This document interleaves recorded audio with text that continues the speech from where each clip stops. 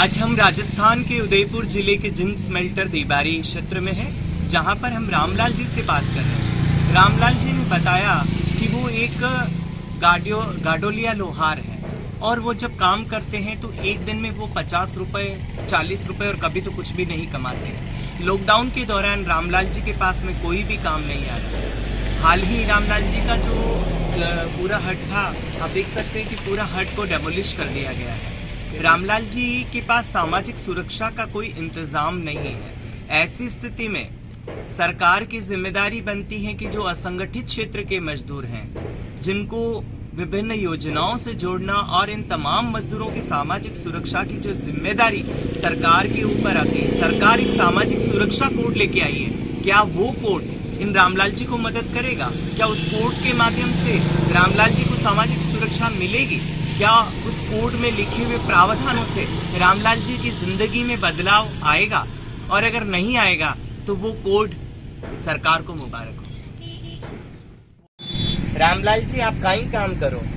ये लवारी काम करता हाँ। कितना पैसा मिलता है आपको इस काम करने का?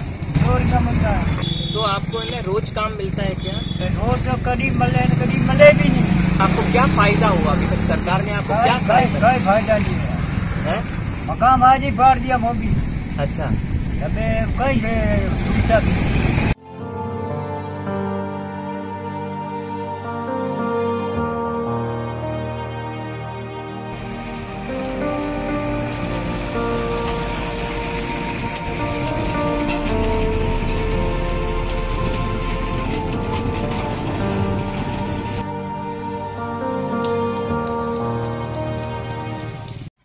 भंवरलाल जी आप निर्माण मजदूर हैं और यहाँ कितने समय से काम कर रहे हैं? हम कर रहे दस साल से। दस साल से। आपको श्रम विभाग में आपका पंजीकरण हुआ है क्या? नहीं हुआ। श्रम विभाग की किसी योजना के बारे में आपको जानकारी है क्या? नहीं कि निर्माण मजदूरों को सहायता मिले? नहीं। नहीं है। इस इलाके में लगभग कितने निर्माण मजदूर होंगे?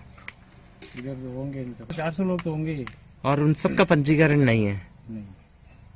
आपने कभी कोशिश किया पंजीकरण कराने का? नहीं। आप ये जो काम करते हैं इस काम का कितना आठ घंटे का कितना पैसा मिलता है?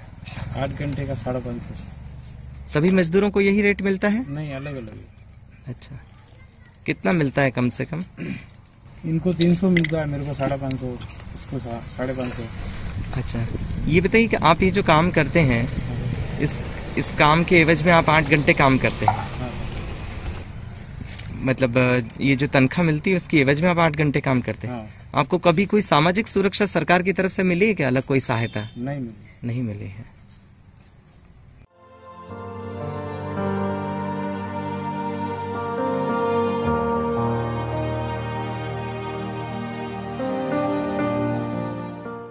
क्या नाम है आपका? शांता भाई।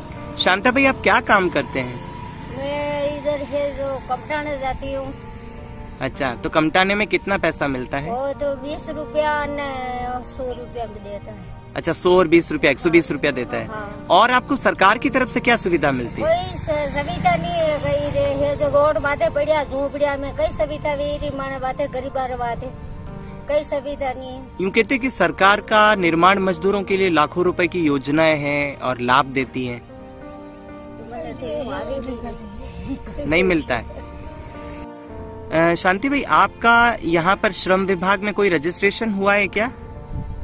रजिस्टर मैंने खबर नहीं पड़ी अच्छा पंजीकरण वियो कि नहीं वियो पंजीकरण थाना नाम लिखवाया के सरकार सुविधा देवा बाबत है?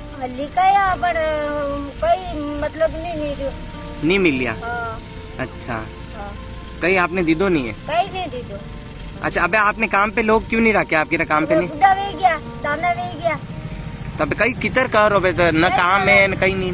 कई नहीं अब बेटा हाँ ने गामले से साया में फरी रहा। अब बे, बेटा है तो बेटा रुआ दे तो दे ने नहीं भी दे कहो पैसा सही बात है कि बेटो कटे कटे रहेगा नहीं तो अब भूखे से मारा तो पर याद बात पाँच सौ रुपये कई महीने आते बताओ। सड़क मा तो पड़या रे कई कोनी बे कई एक कोसा ऊपर पानी ले लेना हीरा पीवारो एक कोसा ऊपर से से ना मारा रेवाने ना कई अटने रिया तो ये अटनु पता राय रेवड़ी ने काजा जा ये सड़क मा पड़िया ने कोरोना रे शाप किराए मकान में तो वटू री रेवड़ा दे ये टाइम पड़े तो कई मतलब मा कटा सामा के